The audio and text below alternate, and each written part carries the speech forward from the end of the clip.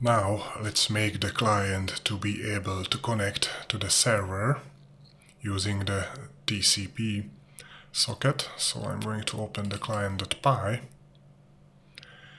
and I'm also going to need of course the socket library. So I'm going to import it. So import socket. Socket.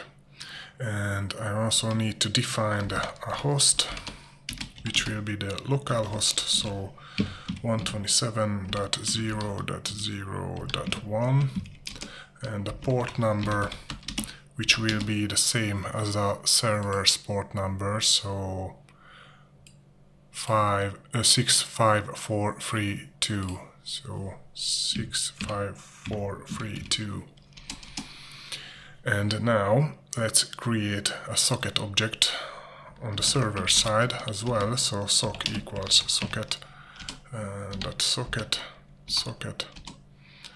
And let's give it the same argument so the af underscore inet and the sock stream. So I'm just going to copy and paste it here. And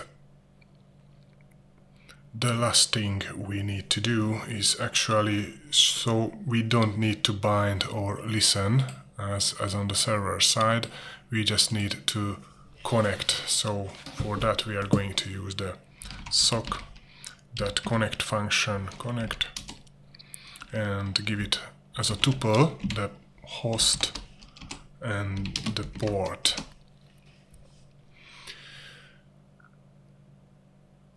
So let me see. Now when I run it I should get from the server side this print client is connected. So let me try it. I opened up the folder and I'm going to run here. One command window and also create a second command window and in this one I'm going to run the server. So python python server.py and now let me see. In the second command window I'm going to run the python client.py and when I press the enter as you can see now in the server side it printed that client is connected. So the client is now successfully connected to the server. I'm going to close these windows.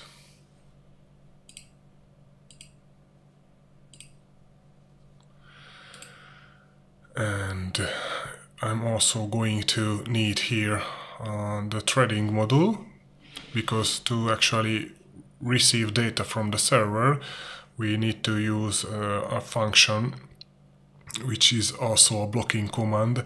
So to actually prevent the from that function to to block the main thread, we are going to also need here uh, on the client side the threading module and also just create the same function as here. So I'm just going to copy and paste it. So the create thread method or my function and the create thread method. Here I'm going to define uh, receive data receive underscore data. This will receive the data from the server. And for now just pass. And before we run the game I'm just going to call the create thread with the receive data. And don't forget that you don't you want you need to delete these uh, brackets here. So receive data without the brackets. I'm going to do a separate video for this receive data function because it will take a little bit uh, longer than the other functions also on the server side and also on the client side